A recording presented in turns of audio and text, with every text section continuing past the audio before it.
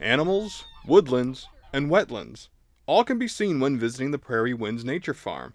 But this group of IU South Bend students wasn't just taking in the sights and sounds. Well, they had two assignments. They had an assignment to observe in nature and read a poem, be reflective in nature, and use all their senses.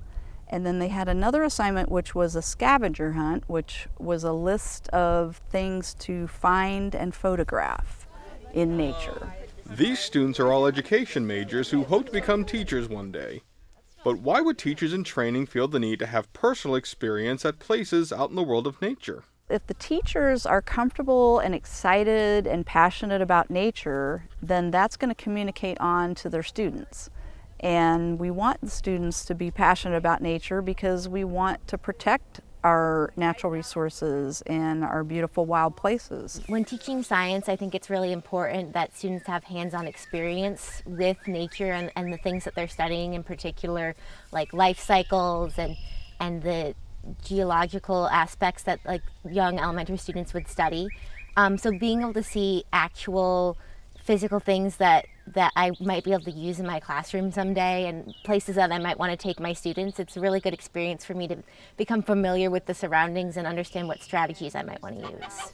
Well, I think it's very uh, important because I think a lot of our society is becoming more into technology and you know city life, and that's okay. But there's a lot of people that need to uh, experience nature, need to experience ways of um, just connecting with the environment and making humans more connected with the environment because in today's world we're becoming more and more or less connected with nature so bringing that connection to our students is very important for us. These college students weren't just standing around and listening to an instructor speak. They were getting hands-on experience and even getting down and dirty with the natural world around them.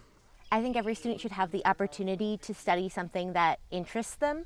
Um, and in an everyday classroom, we're really lucky that students can use technology to explore things through the internet and, and learn about different places all over the world.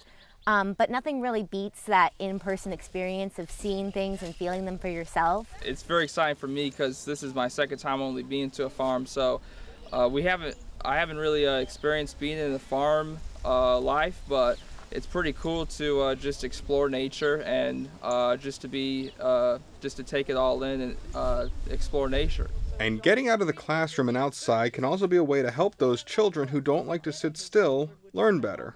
Well, it's been estimated that up to 30% of our students, especially boys, are very, very active, find it very difficult to sit still in desks and learn mostly visually and auditory.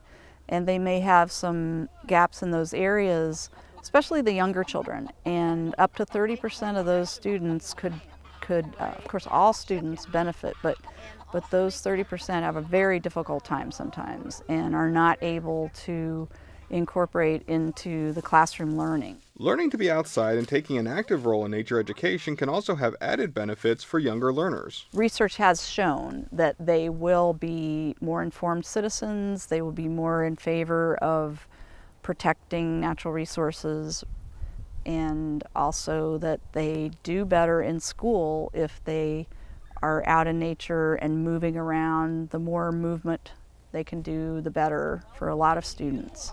These teachers in training may have learned a few new things, but did they feel they could take those lessons and apply them to their potential classroom settings and future students? What I'll use in my future classroom is definitely the ideas that I get when I'm out here. Um, I consider a lot of different things about what might interest students and what questions they might ask which informs the like the opportunities and strategies I'll pursue as a teacher. So the types of activities I'll decide to pick are ones that I think would also have relevance in an environment like this. Um, so that if I'm teaching something in the classroom, I can also connect it to something that I might do out in the field.